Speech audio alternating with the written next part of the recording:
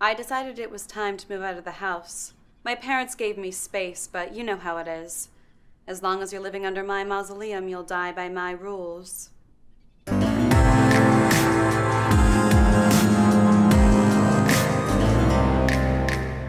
My parents are despicable monsters, and I'm grateful for that, but I can't sleep in my childhood coffin forever. You know what I mean? Not really.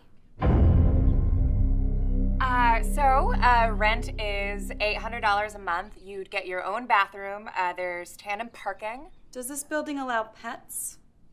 Oh, no. Um, no, actually. Do you have one? Not for long. What?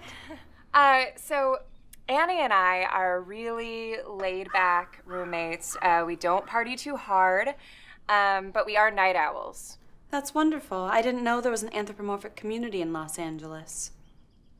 So, the landlord will need to do a credit check on you and will need the first and last month's rent. That won't be a problem. My grandmother gave me a few starter doubloons. Oh, that's nice that you're close with your grandmother. How old is she? She'll be 18 years in the grave on Friday. I thought you said she gave you money. She seanced it. She's always looking out for me.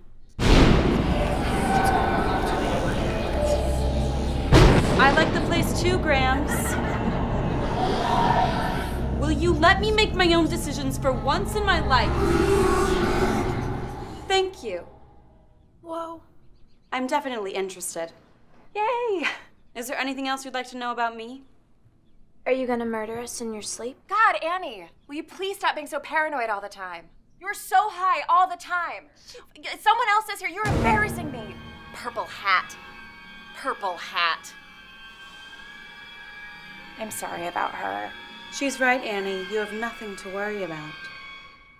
I don't shit where I eat. Exactly. God, I like you so much, Wednesday. You're a straight shooter. You know, you can move in any day after the first. I'll help you. She'll help you. Do, do you have any final questions?